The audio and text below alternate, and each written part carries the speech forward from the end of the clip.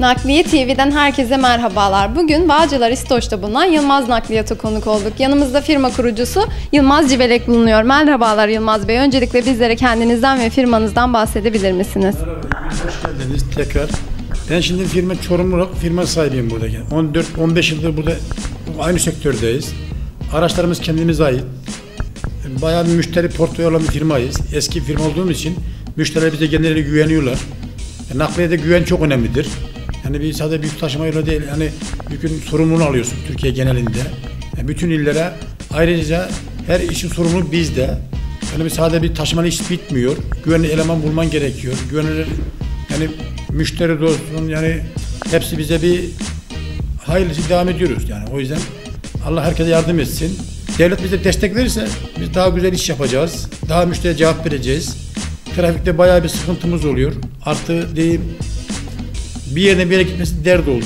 O yüzden biz genellikle Türkiye genelinden Trakya olsun, Doğu olsun her tarafı tır gönderebiliyoruz. Yani müşteri anlaştığımız sürece.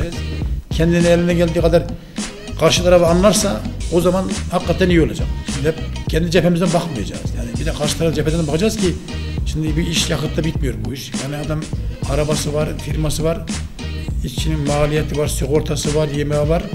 Yani herkes elemanla kazanırsa, firmada kazanırsa firmaya hizmet verebilir. Yılmaz Bey, nakliyatta dikkat edilmesi gerekenler nelerdir? Nakliyata dikkat etmemiz gerekenler müşterilerimizin telefonu olduğum için yükü görme şansımız yok. Çoğu zaman bize doğru düzgün bildirilirse biz ona göre uygun bir aracı gönderebiliriz. Artık hırsızlık konusunda, güven konusunda bunlar çok önemli. O yüzden herkesin eline gelen kaydı gösterirse ortaya güzel bir şey çıkar. İki tane bize memnun kalır. Yani o yüzden bir de ucuz diyerek mal ucuza taşıyorum diye onun bir fazla bir kar olmuyor. Yani bizim bazı müşteriler şunu yapıyor ucuz taşıtmak için. Anladın mı? Bazı farklı şey ama dediği gibi öyle olmuyor yani. Ne demek? Her zaman kaliteli hizmet veren, işini sağlam yapan biraz maliyetli olur. Sen şimdi bu bir yere gitsen bir yere ürün alıyorsun. Basit bir ürünle kaliteli ürün hangisi? Hayır değil mi? Yani o, o yüzden her zaman olsun kaliteli ürün her zaman fark vardır. Müşteri de burada bize güvensinler. Bir gün taşıyor, sağlam oluyor. O yüzden elinden geldiği kalite gösteriyoruz da çoğu zaman biz de anlayışla karşılamayı istiyoruz yani. Çünkü biz isteriz ki herkese ucuz fiyat verelim, şey yapalım ama olmuyor yani. Maliyet var, yakıt masrafı var. Ama burada müşterinin yapması gereken şu var.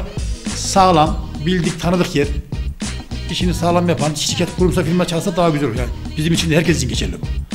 İcabında adam dediği gibi adam eskidir ama sağlamdır, dürüsttür. Ama kimisi var işte herkese bize yardımcı olursa bazen trafik geç kalmalı oluyor. O da bize kaynaklanan sorun değil. O yüzden herkes bize anlaşça karşılasın.